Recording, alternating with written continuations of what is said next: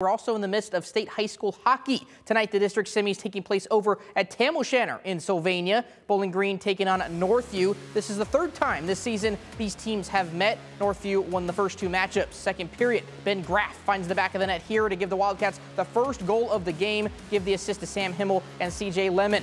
Later in the period, Northview knocks the puck loose. It's a breakaway for Tristan Harrell, who gets past the or gets past the goaltender and puts the Wildcats up 2 nothing. Third period, Wildcats again with possession, and this time it's going to be Benny Seals who finds the back of the net. That would put Northview up three goals, and finally Harrell again in transition makes a few nice moves here and then takes it all the way himself to the net for his second goal of the night. That would be the final goal as Northview dominates. Wildcats win 4-0. Chase Bachman has more from Sylvania.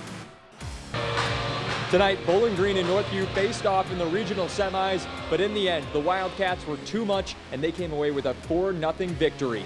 I knew that they would be more like the team we saw the first time down in BG than us getting after them a little bit down here, or up here rather, uh, in the second matchup. So I knew they would be a tough matchup, and uh, he, he, gets them to play hard, and, and they did just that. And they clogged the ice. They on top of the 15 shots we sent at them, they probably blocked another 12 or so in that first period. So uh, hats off to them. Good kids on that team, and uh, we like going to battle with them. It's always uh, tough to come back and beat a team twice, let alone three times in a, in a year.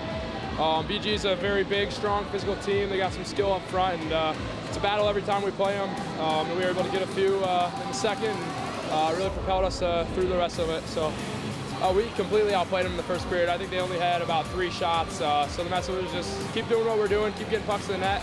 Um, just try to find the net a little bit more. Uh, had a few uh, missed nets, and then we were able to dial them in and uh, got, what, two or three in the second period. So The Wildcats will wait and see who they play between the winner of St. John's and St. Francis tomorrow.